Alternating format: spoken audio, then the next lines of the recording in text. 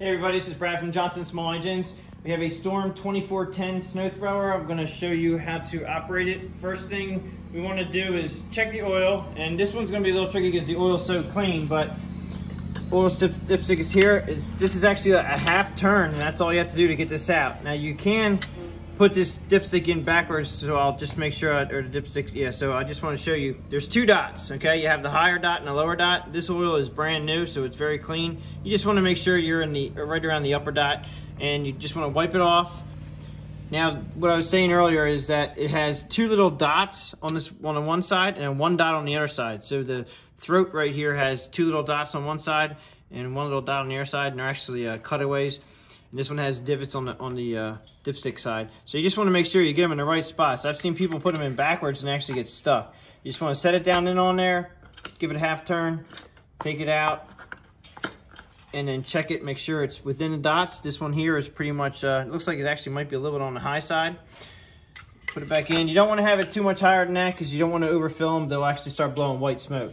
Okay, so we got the uh, oils checked, fuel goes here, and basically, I would suggest high test fuel for everybody. That's just my opinion, but the high test fuel is much better gas. You have a couple uh, handles up here. The first handle on this side is for your drive.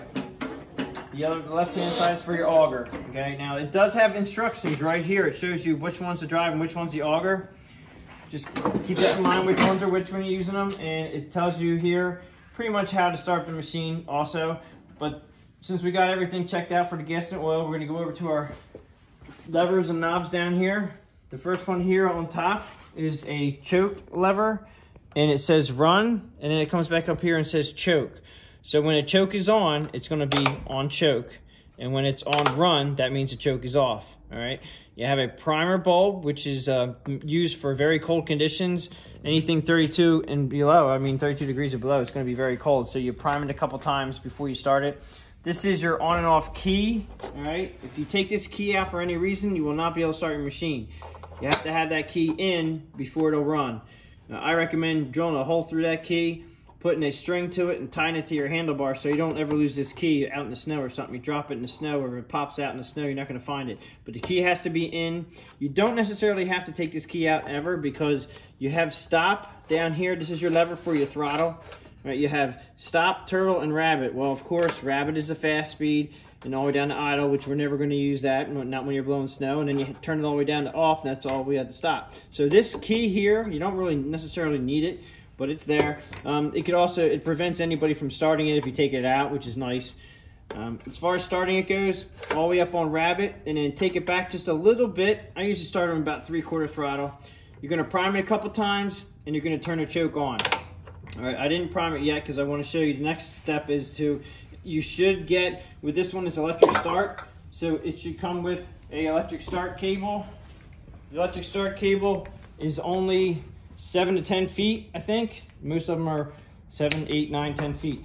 Do not go over this cable, this the, the, as far as the length goes. The cable should come with the machine, all right? And we're just, you wanna plug it into a regular outlet. Do not plug it into an extension cord you just want to stay with the seven feet that you have or eight feet or whatever it was when it came with the machine. Do not overextend the cord because what happens is it lowers the draw of electricity to the starter and you can burn up the starter. This has a three prong outlet. This is the starter right here. Here's your starter button. Basically, it's just push on, go, and that's pretty much it. Plug in your extension cord. Now, all this does is it spins the engine. That's all a starter does. It doesn't do anything to help you start it other than it spins the engine faster. When it's really cold outside, you have your oil gets pretty thick. So when you pull start it with this, this is when you already had it running. You run out of gas, you're out in the middle of the field or something, or out in the middle of your driveway and you want to fill it up with gas, fill it with gas, and then you can pull start right away. This is basically when your initial get-go, when the oil's thick and you have it up near the house, and you have electricity you know, up near the house or whatever and you're in shed and then you can just push the button and it'll spin the engine over fast because these do need to spin up pretty quickly to start them fairly easily. All right, so back to our controls again. Like I said, up to fast and I have it a little bit off of real fast just because I don't like to start machines at full throttle. We have the choke is now on, all right, and I'm also gonna prime the bulb. So choke is on, I'm gonna prime the bulb once. Now we're in warm weather here, so twice Probably shouldn't even need that. Three quarter throttle, I'm gonna come back around and, and push the button. Once this starts up, you're gonna take the choke off or at least take it down to half.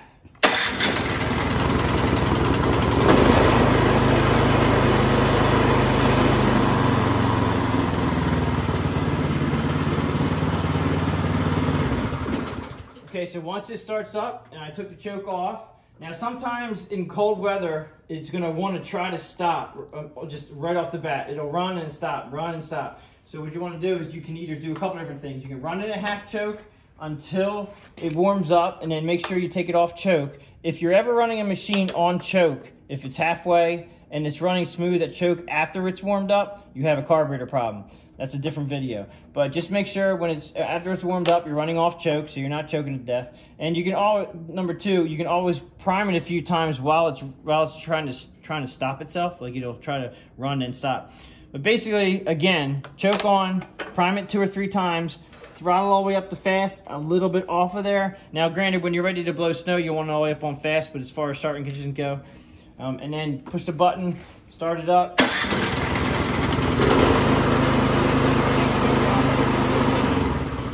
And as you can see after I started it, I did take the choke to put it into the off position.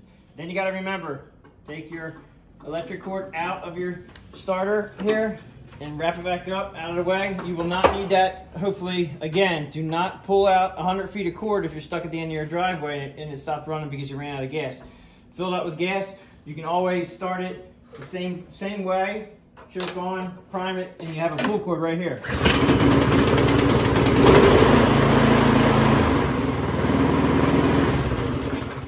As far as, uh, like I said about the operation and everything, you do also have, you have your self-propelled drive here, you have your auger drive here. This is your two-speed reverse, and you're also your five and six speeds forward. That's, that's how it operates, the uh, how fast you're going forward and backward. You also have your control for your chute, left and right. Okay, so, so, so. you also have your, you have an adjustment here for when the snow blows out of the out of the chute here. You can, I usually try to blow it as high as I can, but it depends if you have neighbors or whatever. But you just loosen up one knob here, and then this will move up and down, and just tighten up this wing nut here, this knob, and now keep it from going anywhere. You have this handle here, which actually helps if you ever get it clogged. That's why it's there. It's designed to get in here and unclog the chute. It's to keep, keep, keep people's hands from going inside here, and that just locks right here. I usually take, I have one of these, I took mine off just so I wouldn't lose it and run it over when I was blowing snow, but they, that's for the holding things. As far as the front of this machine goes, this is where your augers are. And the big thing about these guys is, I don't know if you can see in here because it's kind of dark, but there's, a, see if we get some light. There's actually shear pins. We have a shear pin here. You got a shear pin over here. You got one right here and one right here. So this one actually has four shear pins And they will shear and they're designed to shear.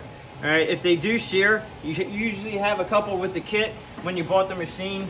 Just have to replace them. It's a little bit tough when there's snow packed up inside there.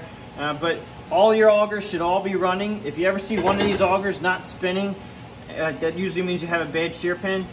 And just remember when you're blowing snow, I always tell people to have the auger handle down until you see all the snow come out the chute and be done. Like nothing's, don't stop your auger before all the snow's out because that'll obviously have a clog real quick. We live in the east side of uh, Pennsylvania and it gets pretty heavy snow here. We don't have a whole lot of, of fluff. It's a lot heavier and it gets clogged up a lot in here. And I've noticed if you can just keep your auger handle down until all the snow is out, then you let the auger up to stop your auger. That'll help eliminate a lot of problems with uh, clogging. And also silicone spray. Spray some silicone spray in here and also in your augers. And that also helps with the non-stick. It really helps a lot as far as keeping the snow from sticking inside the machine. I hope you liked the video. I hope it helped you get this thing started. Give me a thumbs up if you like it and please subscribe. Thanks for watching.